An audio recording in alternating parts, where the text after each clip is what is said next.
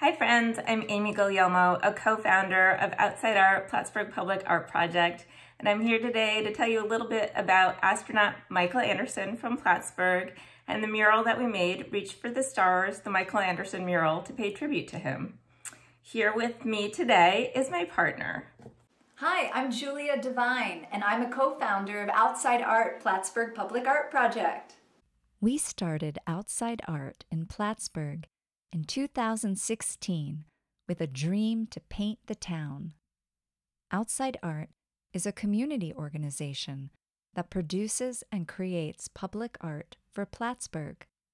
We work with local, regional, and national artists to animate public space with the goal of building community and making Plattsburgh a destination for art and a place for artists to settle and create. Outside Art has produced 13 murals for downtown Plattsburgh since we started in 2016. That's five years.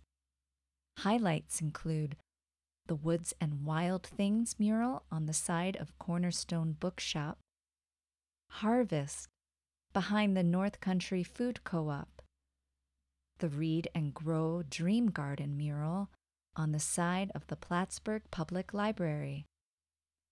The Jean Arthur mural in Protection Alley.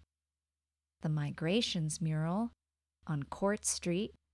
And of course, the Michael Anderson mural painted by artist Brendan Palmer Angel, who you'll hear from soon. When we learned that Michael Anderson, an astronaut, was born in Plattsburgh, we knew we had to recognize him. Then we had to find a place, an artist, and funding to do it. The Arts Park on Durkee Street was the perfect location, and Brendan was the perfect artist.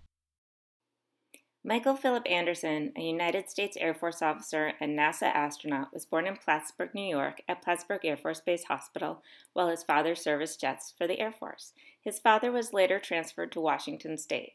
In 1981, Anderson earned a Bachelor of Science degree in Physics and Astronomy from the University of Washington in Seattle, and in 1990 he was awarded Masters of Science degree in Physics from Creighton University in Omaha, Nebraska. After graduation, Anderson was commissioned a second lieutenant in the U.S. Air Force. He received his training at several air bases around the country and then returned to Plattsburgh. From September 1992 to February 1995, he was assigned as an instructor pilot and tactics officer in the 380th Air Refueling Wing at Plattsburgh Air Force Base. Anderson had logged more than 3,000 hours of flight time when NASA selected him for astronaut training in December 1994. He was one of 19 candidates selected from a pool of over 2,900 applicants. Anderson reported to the Johnson Space Center in March 1995. He completed a year of training and evaluation and was qualified for flight crew assignment as a mission specialist. Anderson was initially assigned technical duties in the Flight Support Branch of the Astronaut Office, but went on to log more than 593 hours in space aboard two Space Shuttle missions. Anderson was a mission specialist on the Endeavour on the 8th Shuttle to Mir Space Station docking mission, during which the crew delivered more than 9,000 pounds of scientific equipment, logistical hardware, and water. He served as the payload commander and lieutenant colonel in charge of science experiments on the Columbia shuttle. On February 1, 2003, the shuttle was returning to Earth after a successful 16, trip, 16 day trip to orbit, where the crew had conducted more than 80 scientific experiments. Unbeknownst to her crew, the orbiter had suffered critical damage during its launch on January 16th when the foam from the fuel tank's insulation fell off and tore a hole in Columbia's left wing. During re-entry, the hole allowed super hot atmospheric gases to penetrate the orbiter's wing, leading to its destruction. Sadly, Anderson and his six fellow crew members perished in the Space Shuttle Columbia disaster. Anderson was posthumously awarded the Congressional Space Medal of Honor. And now some thoughts from our artist, Brendan Palmer Angel. Hi, I'm Brendan Palmer Angel. I'm the artist who created the mural of Michael Anderson in Plattsburgh, New York. I think it was really important to celebrate Michael Anderson partially for his unusual leadership. Um, I had the the privilege of speaking with his wife Sandy before I started painting the mural as as part of the um, background research, and she said he was the kind of guy who would never let on that he was an astronaut, that that was his job, um, you know, in in uh, parties or anything like that. He he just uh, really kept that quiet, but. Um, by all accounts, you know, teachers he had in high school, um, his commanding officer at the Plattsburgh, Plattsburgh Air Force Base, who I also got to speak with, um, all said he was just like an incredible intellect, um, very genius, genius mind. Um, but he was also incredibly kind, and you see that in a lot of the photos of him.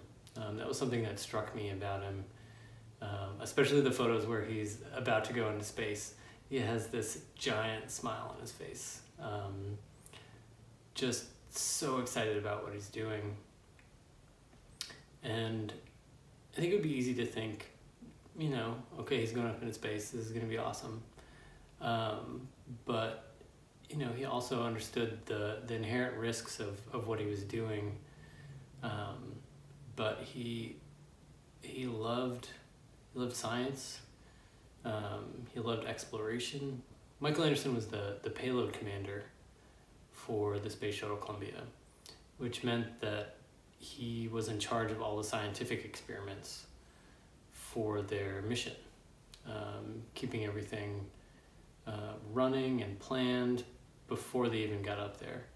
Um, so he had to be super meticulous about getting all of that um, together just so um, and then running it while they were up in space. Um, when I was talking to Sandy, I also asked her about um, this this giant grin on his face, which you see in the photos not only um, as he's getting ready to go into space. It's particularly pronounced there, but um, also when they're training, when they're they're designing experiments. Um, and that was something that really struck me was this sort of like gentle strength about him. Um, and I asked Sandy, you know, what was like, am I getting this right? Like how, what was he like? She said, yeah, that was, that was him. Um, incredibly humble and, um, but confident. That was something that his, his commanding officer also said which kind of threw me off, um, was that he he was an incredibly confident person, um, but without being self-aggrandizing. So I was struck by a lot of this, uh, just as sort of an unconventional leadership style. Um, someone who, who was really confident but also not self-aggrandizing.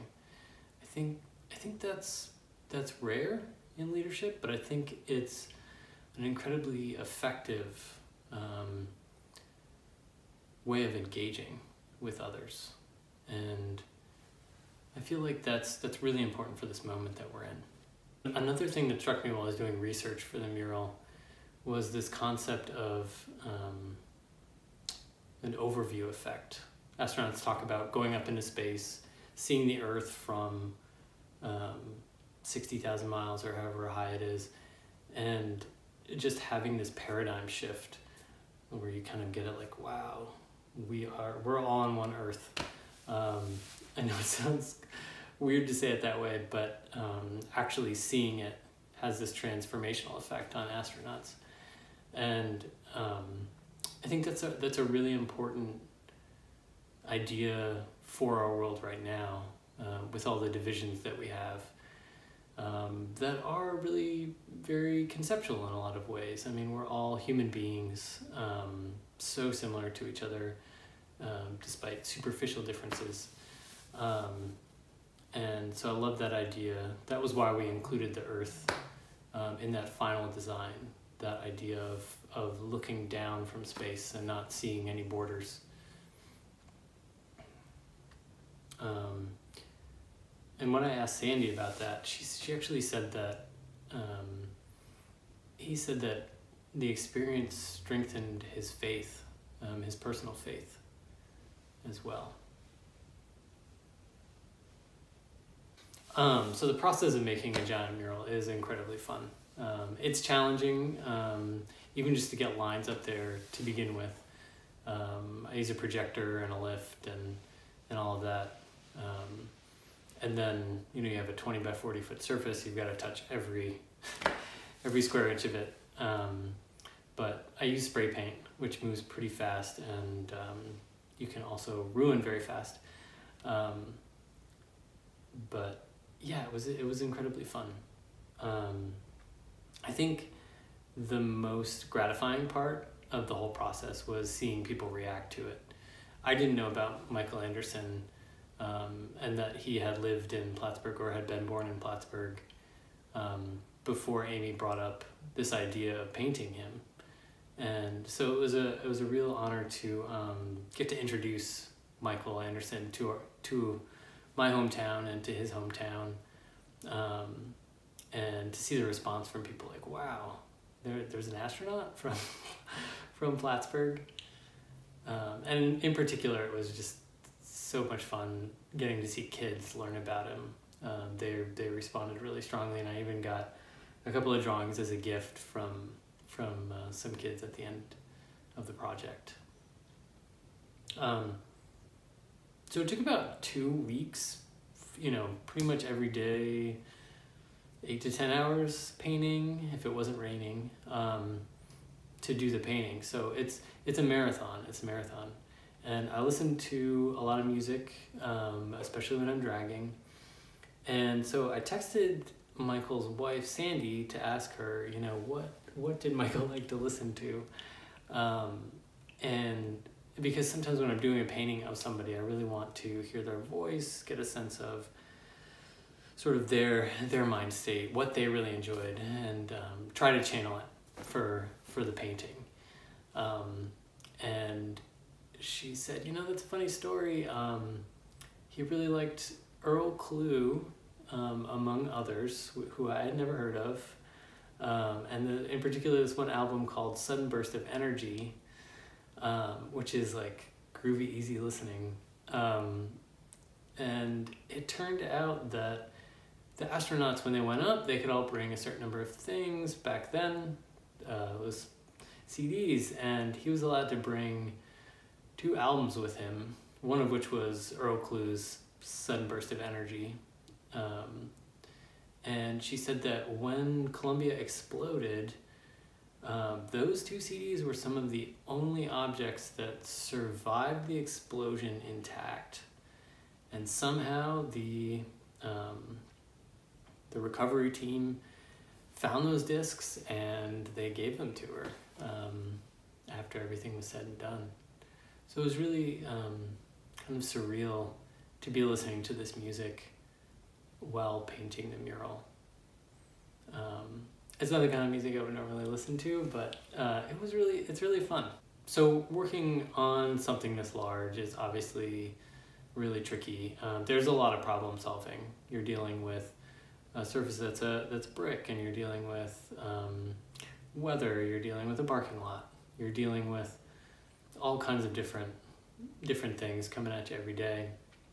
Um, but one thing that stands out in particular is how do you see what you're doing because in that lift it's only about two three feet deep three feet deep um, and you you can't really get back to look at this giant thing that you're painting um, so a lot of times i have to go up and down and then run back through the parking lot and look and see what i've done and say you know with the photo and say like oh his tear duct is a little off and get on and run back up and everything like that um, this um, this was the first time I had used what's called a boom lift, which is that the arm that goes up and down and back and forth.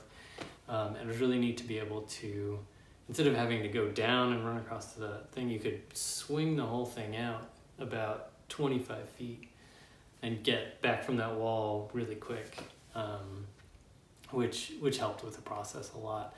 Also meant that I didn't have to go down and um, get distracted by people and have a conversation and then break it off and come back. Overall, it was just an incredible experience. Um, I would highly recommend to anyone interested in painting murals to try it at some point.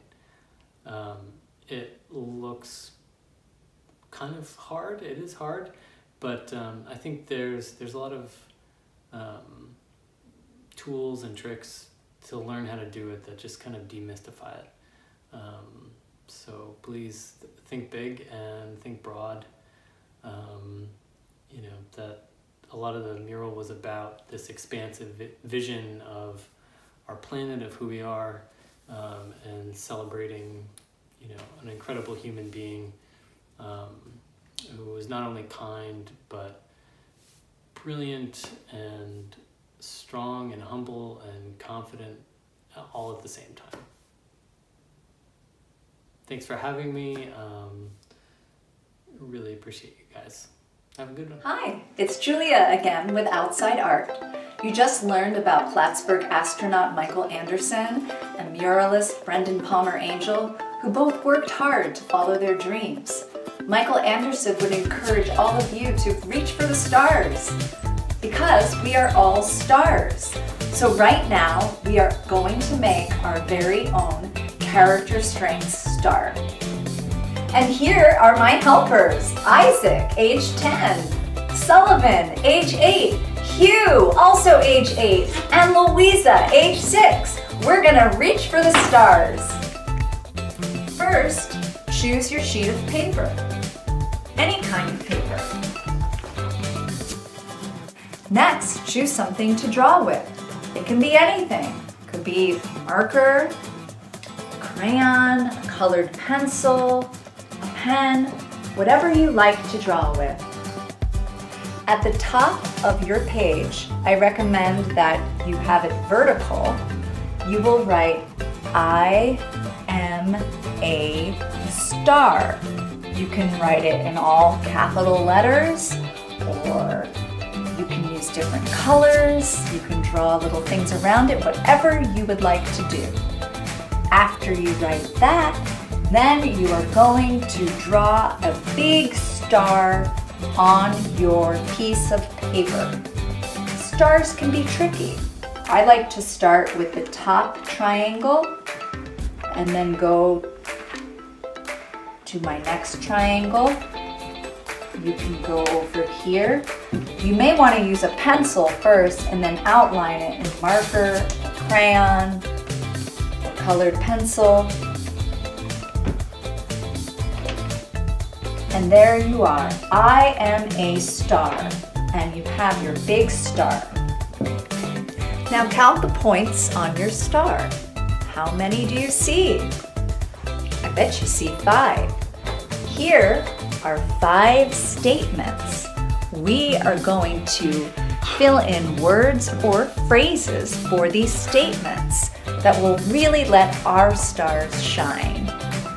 I show determination and grit when I I am hopeful about I am curious about I am grateful for I am excited about. So let's see what we can come up with. And you're going to come up with your own words or phrases and you can write them inside or outside the star. So I'll start. I show determination and grit when I clean the house. I am hopeful about My future. my future. I am curious about Yeah. sharks. I am grateful for My family. my family. I am excited about My birthday. my birthday. Everyone loves their birthday. And if anyone has a birthday today, happy birthday.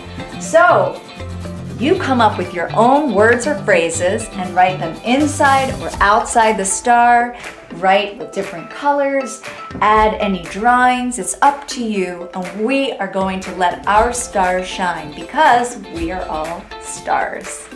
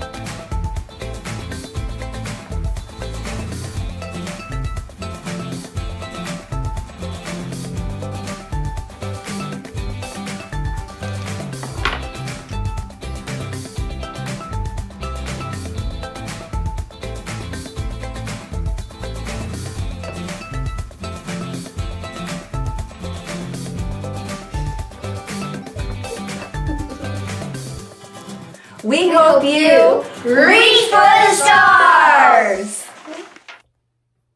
Now it's time for an out of this world science experiment.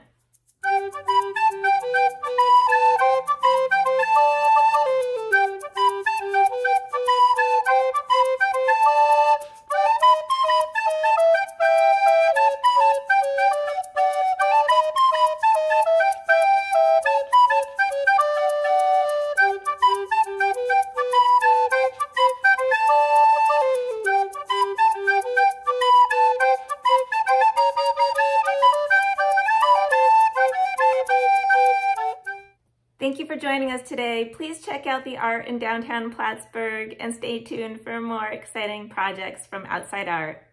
Shine on!